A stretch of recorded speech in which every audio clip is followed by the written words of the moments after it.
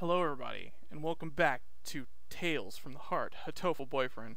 Now, last we left off, Nageki was trying to tell us a pretty big secret, I guess, and then we get it interrupted by the teacher and blah blah blah blah blah.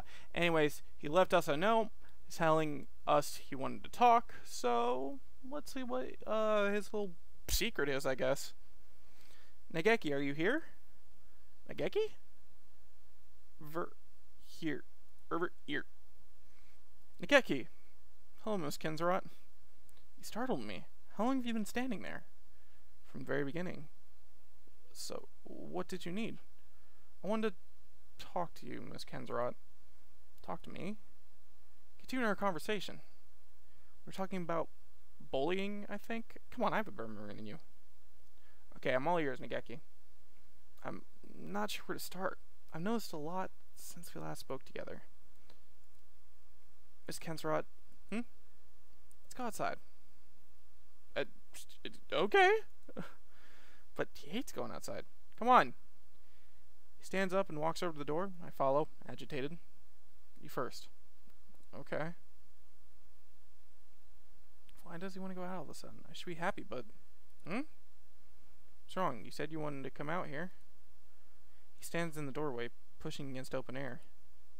What are you doing? Mime? Watch.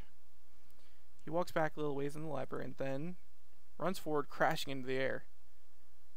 Uh, Nageki, what? Thud. He bounces off the invisible wall and falls back to the library. Oh, damn it! As I thought, I can't leave. What? I can't leave this room. I wake up in this library. After a while, I lose consciousness and wake up here again. And so it repeats. I said I'd come to understand the truth by talking to you, Miss Kensrot. You probably noticed too why no one else talks to me. That's because...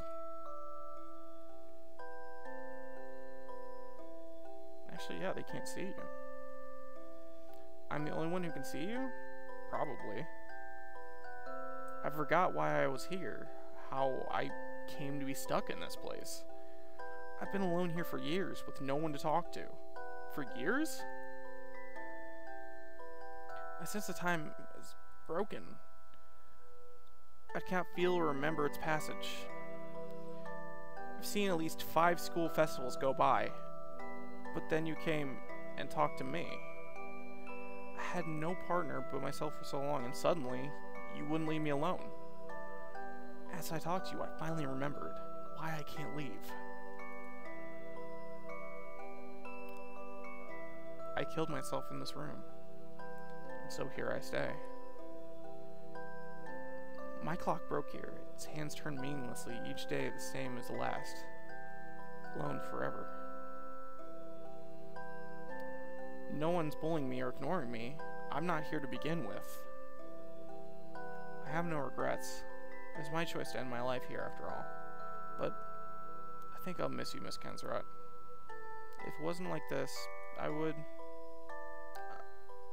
I would have liked to talk to you more, for longer. Geki. I wrap my arms around him. I can feel him softly, but he's cold. At first, staying here alone was painful, but I grew numb over time. I ceased to feel pain. That feeling that I thought I lost, I had lost, came back because of you. I'll talk to you enough to make up for everyone else, Nageki. Maybe one day you'll be able to leave. No. Why not? As I talked to you, I changed. I didn't notice until just recently. When you told me about this school, I was probably trying to take back time I, the time I never able to spend here. I never asked you to, but you relentlessly told me everything that I was going on here. I already feel like I've spent a full year at this school, and now it's over. I think the clock's hands are going to stop soon. Nageki. His head was right next to mine, but his voice sounded muffled in distance. When I looked down, his feet are already disappearing. Nageki, wait! We've never talked like this before. I don't want this to be the last time. Don't cry, Miss Kenzerat. I'm already long gone. There's no one here to mourn. But just one thing I need to tell you before I go. The thing that I noticed. Secret that stopped my clock. No, no, don't say it. The Geki, I... As I filled up, I grew closer to disappearing. You're the one who made me disappear, Miss Kenzerat. I can't stop it now. I still have so many things to tell you. You've already given me more than enough.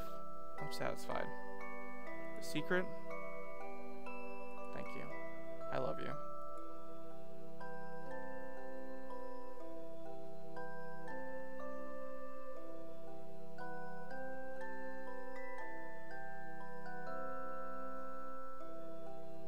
So yeah, that was a feels trip.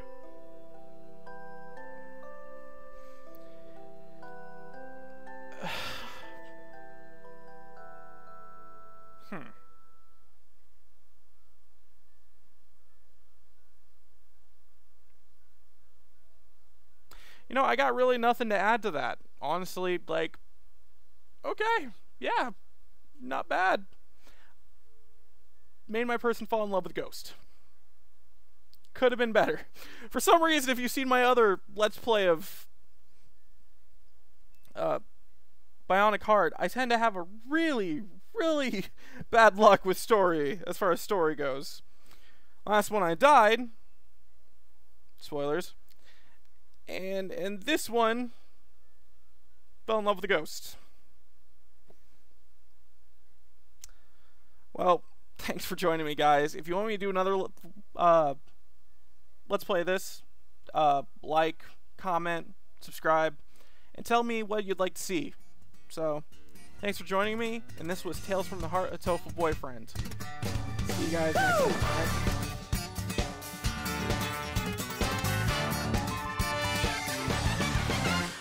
There's nothing in the air, no big deal, but lately you've been so sweet. Kiss me, love me, you're the one for me. Look, I don't really care, it's not like I've been swept off my feet. Kiss me, love me, you're the one for me. But who are you fooling? Oh, fate is cruel, oh man. Kiss me, love me, you're the one for me. My thoughts are going cray and some dumb shit, your manga rom-com chick flick tease, but frankly, I don't give a damn.